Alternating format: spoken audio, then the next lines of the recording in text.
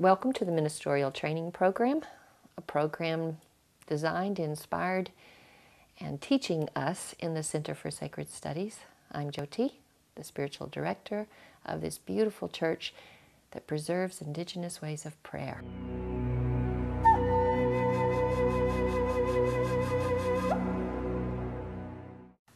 The mystery has been studied from the beginning of time, and it's been revered, it's been written about. Many have tried to describe it, many pray to it, many serve it.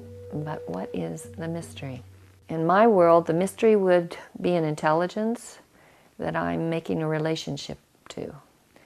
It would be something that knows all. It would be an energy that influences all, infuses all. It knows itself, and we're part of it. So if you've come this far in the story, And then if I can intrigue you just a little bit longer, I'd like to share with you another part of the story that seems to be awakening upon our planet. About 30 some odd years ago, there was a shaking on the earth. It was quite remarkable because it woke up a populace of people all around the world. And since that time, many of us have discovered each other and found each other. But when it first woke up, we didn't know anything about the mystery. We didn't know anything except what we had been enculturated to know. We had habits we followed. We got up in the morning and we did things to take care of our day. We didn't follow our dreams too much. In fact, we didn't think too much about them at all. And then they became very vivid and they began to touch us somehow. They began to dialogue with us somehow. They began to open the door to the mystery. In that process, something started to arise inside of us. The old people would call it the awakening had begun. Something started to shake around inside of our systems, and at first, what it did was just push out all the repressed material that had been placed there from old wounds or bad situations we had had to go through in our lives, or hard biography of some sort. And possibly, if you dug deep enough in your own self discovery, you would also get down to the root of the tree of your family line and the generations and some of what had been repressed or not touched in the ways it needed touching in order to grow or evolve. So we began our self discovery, we began our therapy, we began our self healing, we began to study ourselves, get to know ourselves. As they say on the Delphi Oracle, it says just above its door, to know thyself is to know God in the universe. And we began to think that this was something we found to be true. So evolution marched through us.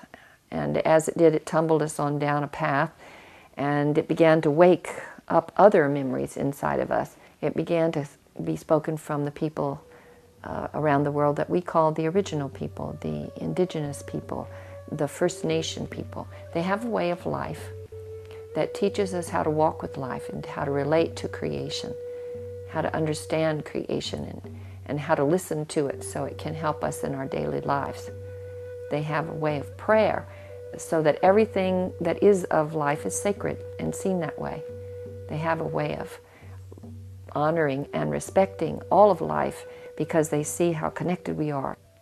Now, there was a community called Kayumari, and we started to catch some of these inspirations, these whisperings. We began to have some of the elders find us, as they say. When the student is ready, the teacher appears. Well, it appeared for us that way in more than one case. People from the Amazon, people from Mexico, people from the North American native lands, that what we call Turtle Island. They began to come up a mountain where we had been brought to and opened up our first center. They began to help us remember ceremony.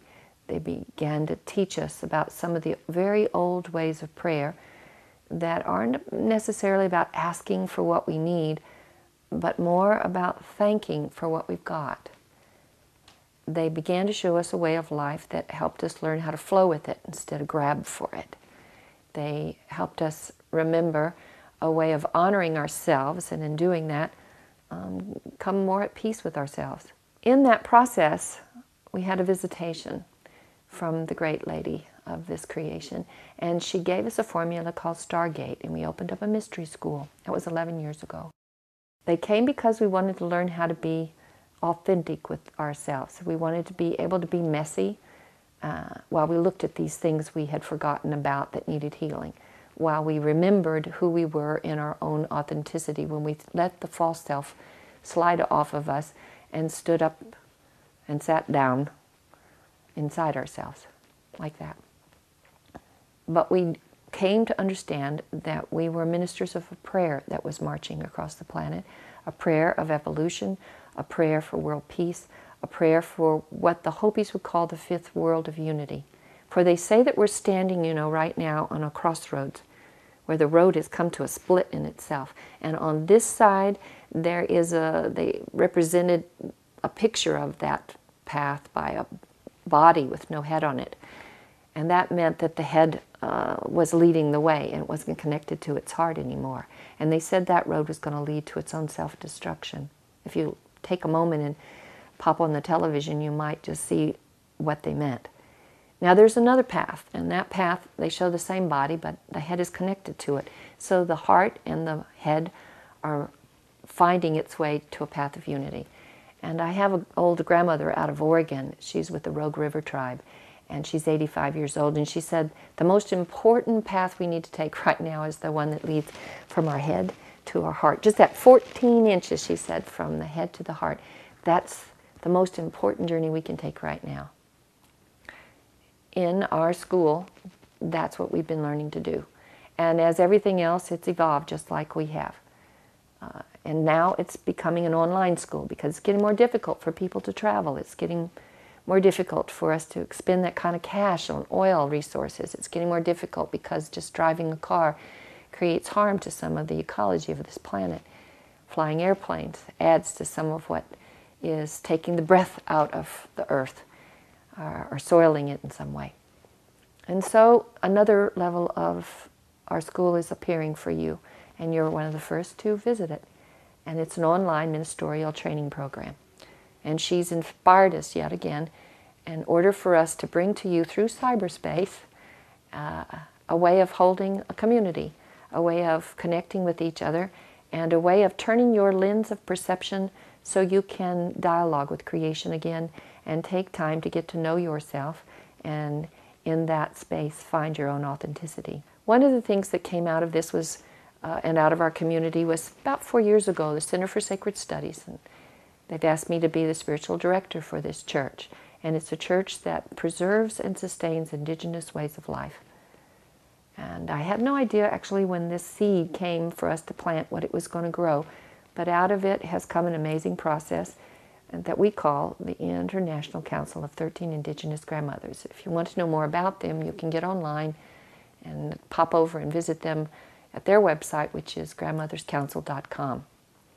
You can also continue to investigate further into the ministerial program that you're looking at right now because many of these grandmothers and other grandmothers that aren't part of this council but that are becoming connected and involved with the council from all over the world, from New Zealand, from uh, Australia, from all, all, different parts of the world, are coming to speak to you. And we're going to have a grandmother's corner where you can sit and listen to some of their stories and some of the ways their prophecy is saying that we need to be in this changing time we're living in right now.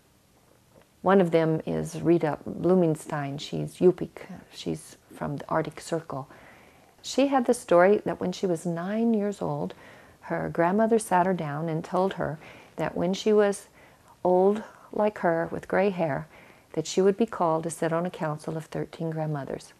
And she made 13 bundles with sacred stones and eagle plumes in them, and she gave them to little Rita and told her to hold on to them, keep them in a very safe way. And when it was time, she would know, and she would sit down on this council, and she should gift each of the grandmothers with this bundle and sit down herself and know that she was standing behind her and that the prophecy of the times was opening itself and more of the mystery and more of the stories that she carried were going to come to be. A time of actualization is amongst us. We can look at it as a crisis or we can look at it as opportunity. I've just become a grandmother twice in the last three weeks and I really want my grandchildren to be able to look around and see the beauty on this planet. So if you have heard the call, explore a little further and let's get to know each other a little deeper. This I pray.